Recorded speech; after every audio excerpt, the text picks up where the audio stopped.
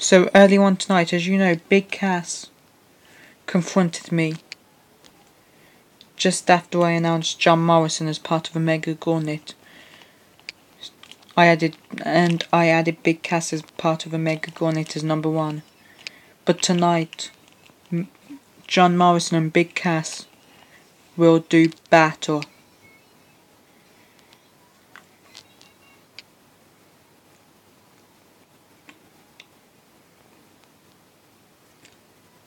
With the winner being number 16 in the Mega Gauntlet.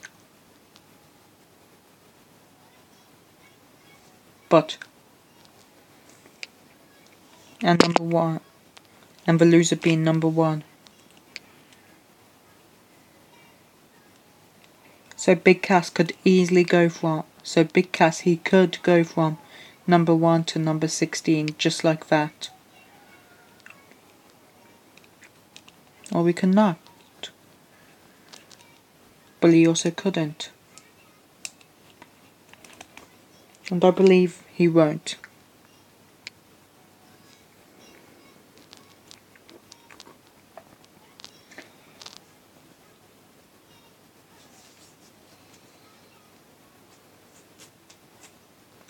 Now, he's just as good. He might be just as big as John Morrison, but John Morrison is just as athletic, as big, Cass.